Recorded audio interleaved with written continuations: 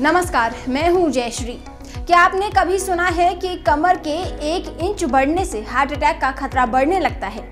आइए जानते हैं क्या है पूरी बात। वज़न बढ़ने की समस्या से दुनिया की आधे से ज़्यादा जनता जूझ रही है। लोगों की लाइफस्टाइल ऐसी हो गई है कि उन्हें फ़िज़िकल एक्टिविटी का समय तक नहीं मिल रहा है और लोग धीरे धीरे मोटे होने लगते हैं। वज़न बढ़ने से शरीर में कई बीमारियाँ हो जाती है जो हार्ट अटैक का भी कारण बन सकती है। रिसर्च बताती है कि कमर का साइज़ बढ़ने से भी हार्ट अटैक का खतरा बढ़ जाता है। ब्रिटेन की एक स्टडी से पता चला है, कमर का साइज़ बढ़ने से दिल के दौरे का खतरा 10 से 11 प्रतिशत तक बढ़ जाता है। ऑक्सफोर्ड यूनिवर्सिटी के एक्सपर्ट्स ने चार लाख तीस हज़ार लोगों पर स्टडी की और उसमें पाया कि पेट को कम करने पर ज़्यादा प्राथमिकता दी जानी चाहिए।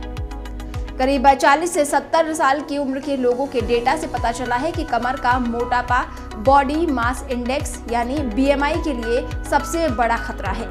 तेरह साल की स्टडी से ये सामने आया है कि कमर का हर इंच बढ़ने पर शरीर में दिल के दौरे और कार्डियक अरेस्ट जैसी समस्याओं का खतरा चार प्रतिशत तक बढ़ जाता है। हेल्थ के कुछ एक्सपर्ट्स का मानना है कि लोगों के शरीर में अगर फैट जमा हो जाता है तो उन्हें शरीर से फैट कम करने पर अच्छे से ध्यान देना चाहिए। आंतों में जमा फैट से कार्डियोवेस्कुलर डिज़ीज़ होने की संभावना ज़्यादा होती है, इसीलिए ये फैट शरीर के लिए खतरनाक है। ऑक्सफोर्ड के स्टडी से ये भी पता चला है कि बीएमआई की बढ़ती इकाई से 9 प्रतिशत तक हृदय गति रुकने की संभावना बढ़ जाती है। दिल की धड़कन रुकने की समस्या तब उत्पन्न होती है जब दिल पूरे शरीर में खून पंप नहीं कर पाता है। काम करने के बाद सांस फूलना, ज़्यादातर समय थकान महसूस होना, हर समय चक्कर आना और घुटनों और पैरों में सूजन होना जैसे लक्षण सामने आने लगते हैं। ये स्टडी बताती है कि वज़न नियंत्रित रहना बहुत ज़रूरी है।